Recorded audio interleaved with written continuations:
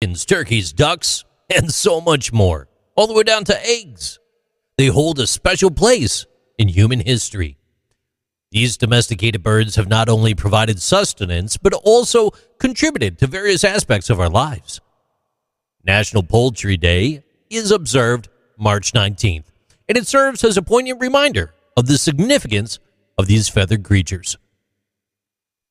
Poultry. It refers to domestic birds raised primarily for meat, eggs, or feathers. Their importance stretches across cultures and time, symbolizing sustenance, economic opportunity, and even artistic expression. March 19th was selected as National Poultry Day to coincide with the awakening of spring, symbolizing renewal and growth. It's a time to reflect on the cycle of life on poultry farms and appreciate the roles that these birds play in